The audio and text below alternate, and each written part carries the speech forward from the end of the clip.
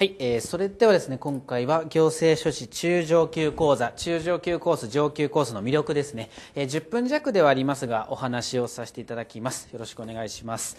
えー、とまず伊藤塾の方で、まあ、受験経験のある方を対象として、まあ、行政書士試験対策として中上級ですねの講座も開講しています。で今回は今年はこの4つですね中上級コース上級コース、えー清水試験対コース演習フルコースとこう4つあるんですが今回この中で中上級コースと上級コース、まあ、この2つについてちょっと説明をさせていただきたいということです。で中上級コースからまず説明をさせていただくと中上級コースはどんな方向けかというとこんな方向けという形でパンフレットには載せさせていただいてます。これが大事だと思います、えー年明けまでに基礎の再構築をまずしっかりとしましょうということですね。中上級の方これを対象としているのは主にあの受験勉強は一通りちゃんとやっている、まあ、一通りやってみたものの例えばあの暗記がうまく追いつかなかった。とかないしあの整理しきれなかったであったり、まあ、最後はちょっと無理やり詰め込んでいっちゃったというふうな形ですね。なんかこう帳尻合わせていったものの実は本当のところこれ何でかよく分かってないとかあのいうふうな方を対象としたところであります。どういうことかというと中上級コースですね。中上級コースは先にこのここの段階ですね。本試験が終わったすぐ後11月の26日から1月の28日ですね。ここのところからもう開講してしまってここで基礎力再構築講義っていうのを受講していただきます。でこの基礎力再構築講義って30時間なんですけどここでですねあの知識面ではなくて知識面なんて別に後でいくらでもつけますので本当に知識だけで良かったのかっていうところをもう一回再考していただいて基本的にはですね考え方をここで学んでいきます。基本的な考え方をここで学んでいくと。いうことです。悲しいことにその暗記ってすぐ忘れてしまうんですよね。なんでこうなってるのかとかいうことがよく分からずに普通にやっていってしまうと、まあ、ふんどんどんどんどん忘れていってしまうということです。で実は皆さんが今までこう勉強していた内容っていうのは覚えなくてもそうとしか思えなくなるような思考っていうのはいくつも存在するんです。こういう視点がありますよとかこういう一貫した考え方がありますよといったようにある一つの思考方法さえ学んでおけば考え方さえ学んでおけば別にこんなの覚えなくてももうそうとしか思えなくなっちゃいますなんてことは本当にいっぱいあるんですよね。ただ悲しいかな。結局そこをあまりこう勉強しないで無理やり暗記でいってしまった。このことによって結局暗記しないと本試験では戦えないというふうな体、まあ、頭になってしまっていると。いうことです。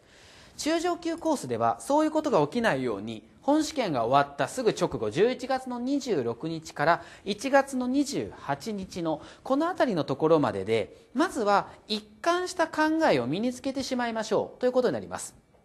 特に憲法民法行政法です。この3科目の考え方がちゃんと身についていれば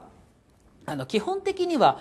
どんなものでも回答ができるようになってくるはずなんですよね。どんな科目でも県民行のこの辺りがちゃんと取れていれば基本的な考え方はマスターできますのでそこに焦点を当ててこの考え方をまず示す。でこの考え方を示しさえすれば知識はガンガン吸収できますからこの上級インプット講義というふうなところにすぐさま入っていけるこの上級インプット講義では思考過程の話考え方の話もまあしていきますけれどもどっちかというと応用的な知識をどんどん身につけていって、まあ、確実に合格できる知識レベルまでどんどん上げていきましょうという講座なので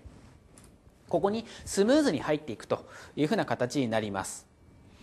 はい、これをしっかりと確認していただくということですね。